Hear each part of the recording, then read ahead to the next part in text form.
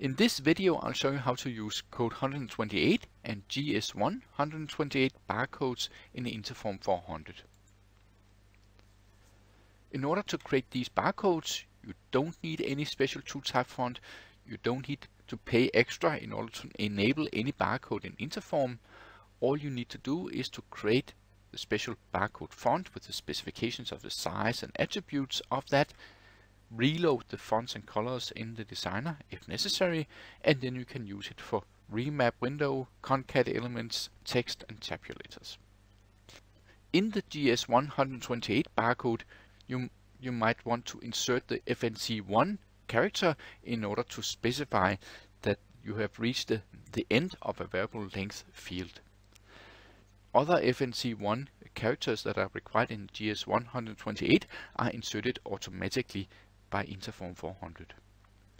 But if you want to insert the FNC1 after a variable length field, you should insert the vertical pipe with the hexadecimal value uh, BB into the data that you convert into the barcode. And finally, I will cover the specialities for label print when it comes to the Code 128 and GS 128 barcodes. To create a Code 128 or GS128 barcode, you select option 80 administration, 4 work with fonts, 1 description of additional fonts if you want the barcode font to be used for PCL and PDF.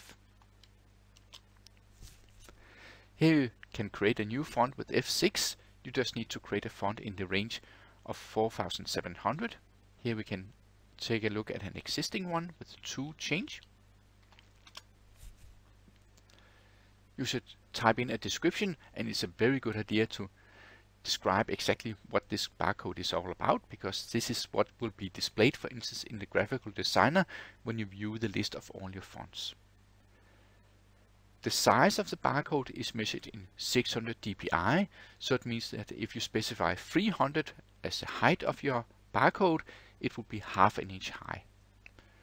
Also here for the size that is the width of the slimmest lines that goes into the barcode that is also measured in 600 dpi so with 4 that's 150 parts of an inch that is the width of this slim lines in the barcode. For the encoding of the data normally when you go with no which is recommended then we will use uh, all of the encodings to make the barcode as slim as possible. If you have a very old uh, scanner that is only er able to scan a barcode that is using character set B, then you can activate this with a Y. If you want to create a GS1 128 barcode, then you should have a Y here for this parameter. To use the new barcode in the designer, you might need to go with File, Reload Fonts and Colors. And now if you want to output some data, for instance from a spool file as this barcode, then can use the remap window, select the data that you want to convert into a barcode. Under formatting, we select now our barcode font. We have it here, and that's it. To create a barcode for label print, you go with 80 administration, 4 work with fonts, option 11 description of zebra fonts, and here you can create a new font with F6 in the range 4700 or you can do two change if you have already have a font.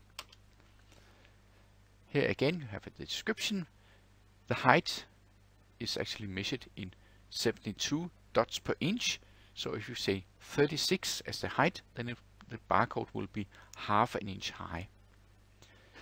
These two settings for uh, 203 dpi and for 300 dpi sets the width in dots of the slim or narrow lines of the barcode. Again here you can restrict the barcode to only use uh, character set B as the encoding but then the barcode will become wider and normally this is not required so I recommend you say no to that if you want to input data, the input text, also to, to be printed below the barcode, you can do that. And here you can enable GS1 128.